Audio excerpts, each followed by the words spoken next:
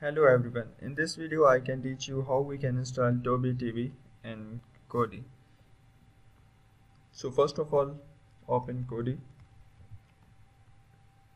go to settings, click on, sorry, click on file manager, click on add source.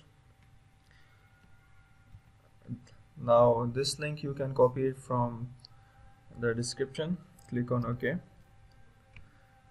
name it as crew click on ok. Let me tell you that uh, we can install the Tubi TV add-on from crew repository. So for this you have to install the add crew repository.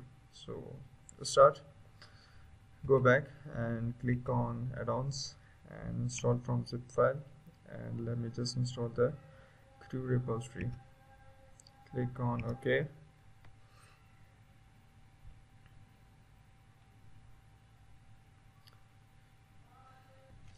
The crew repo is successfully added. Now go to install from repository then the crew repo.